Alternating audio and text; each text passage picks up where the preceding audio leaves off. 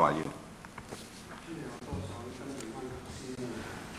咁嘅一五三 B 嗰個條文咧，咁就啊吳可怡議員而家唔喺度咧，咁你想想唔想等佢翻嚟先啊？誒唔需要，等佢翻嚟可能會有激烈辯論。得我真係想講講第一咧，就當然我唔希望見到好似頭先吳可怡所講咁嚴重，就話即係香港法治受到削削弱。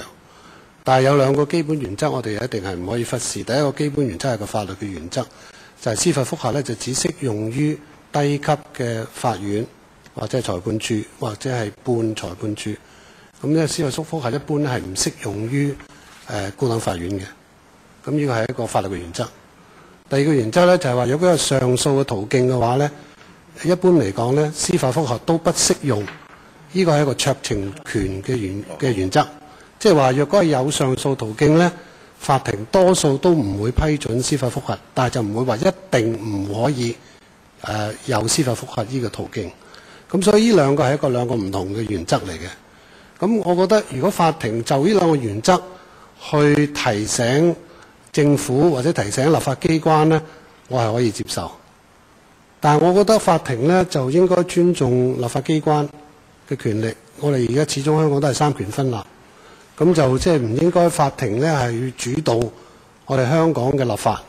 就算法庭認為有啲法律係唔得完善，佢最多只可以建議政府去修改法例。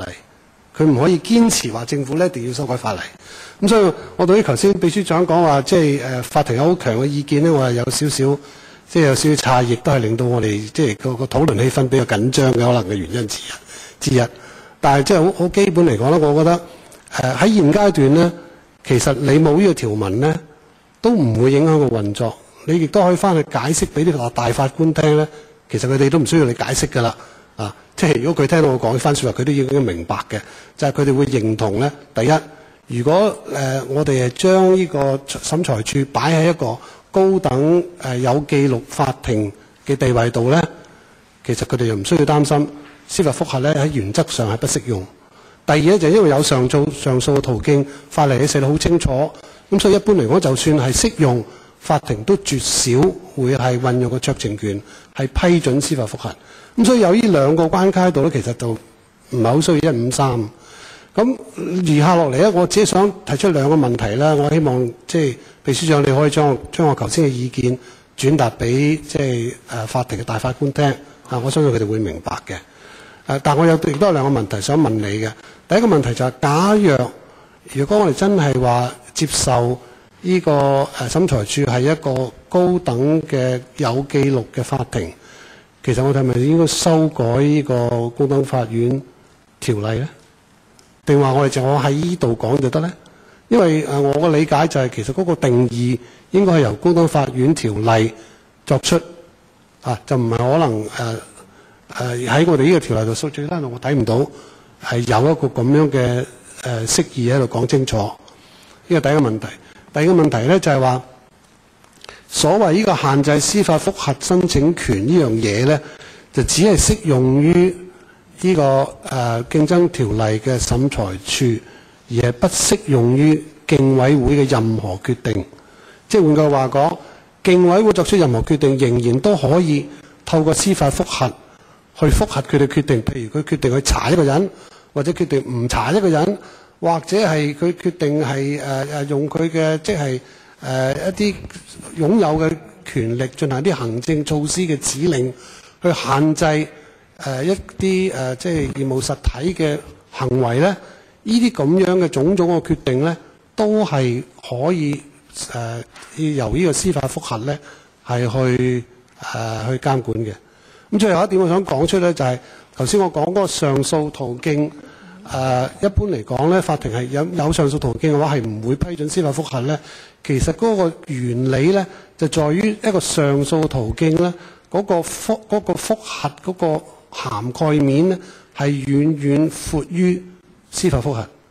司法覆核咧，只可以覆核嘅程序同埋嗰個嗰、呃嗰個、程序咧，有冇違反呢、呢個誒誒呢個誒社會公義。但係一個上訴途徑咧，係所有決定都可以複核嘅。咁所以上訴咧係比司法複核咧係較為全面嘅。咁所以有一個上訴途徑咧，其實冇司法複核咧係並唔會削弱到香港嘅法治嘅。咁呢一點我都想講清楚，亦都希望誒、即係有喺度坐喺度嘅同事都會了解下啦，或者翻嚟亦都會即係將我呢番説話複述俾誒、法官聽。啊，秘書長。嗯嘅多謝誒議員嘅誒俾頭先俾好多寶貴意見我哋啦，咁我哋翻去會再即係內部考慮嘅呢樣嘢。咁就至於就誒頭先提到咧，就係話誒有有兩個誒問題啦。第一就係司法覆核咧，誒我哋而家講緊嘅係咪話誒第二日嘅誒競委會所做嘅嘢係可以司法覆核嘅？咁我呢個答案係係嘅。以後競爭競委會所做嘅嘢咧，係可以由司法覆核嘅，即係我哋而家所講嘅嘢係同競委會所做嘅嘢係係唔關無關嘅，即係我哋唔係話禁止嗰樣。咁就誒、第二咧就係、是、關於即係話誒我哋嘅誒審裁處其實係咪需要改，即係高院嗰個條例係將佢包括誒在內咧？就誒、以我哋以我所知係唔需要，不過我我都要請我法律專家即係即係俾俾個意見啦。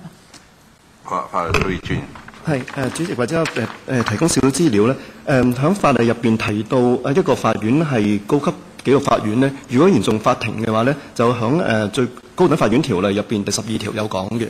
喺誒、呃、上訴法庭係最高誒、紀律法院咧，就喺第十三條講嘅。其實誒、跟住誒中心法院咧，就喺翻中中心法院條例自己本身會講嘅，所以我就誒唔、需要做一個誒誒 constitutional amendment 誒。咁唔係你應該要？唔係要修改呢個高等法院條例，將呢個審裁處都列入埋高等法院嗰個定義度咧。誒，而家嘅做法就係喺各自個別嘅條例嗰度做。我哋而家就喺誒，先即係喺我哋警察條例做就可以足夠㗎啦。係啦，我哋而家就係喺第一三三條嗰度，競爭條例草案入邊做咗。好啊，梁國雄議員。